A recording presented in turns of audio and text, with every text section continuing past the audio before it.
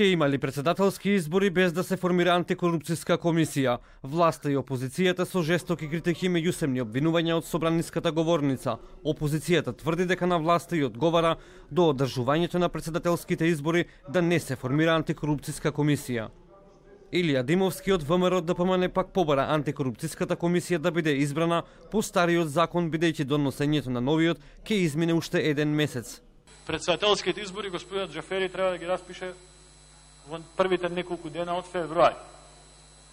Собранието нема да има време, дури и денеска да го донесе законот, нема да има време да ја спроведе таа постапка која што е предвидена во законот, е покомплицирана, посодржинска, може би, поаналитична, не го спорам тоа, нема да има време да формира антикорупцијска комисија пред распишување на председателски избор. Од владата возвратија дека пред пратениците веќе е доставено новото законско решение со кое би се избирале членовите на антикорупцијската комисија кои предвидуваат нови услови и критериуми за избор, а новиот закон веќе помина на прво читање.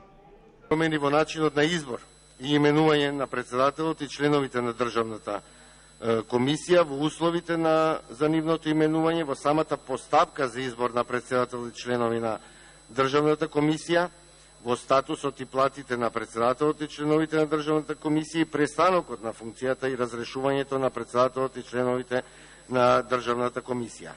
Инаку, оглас за избор на антикорупционери веќе беше објавен, но по старото законско решение и на него се пријавија 39 кандидати, но изборот беше стопиран, бидејќи власта го најави скоро новото законско решение по кое тие би се избирале. Во земјава повеќе од 9 месеци нема антикорупцијска комисија, откако членовите си поднесоа оставки поради злоупотреби со патните трошоци на дел од членовите.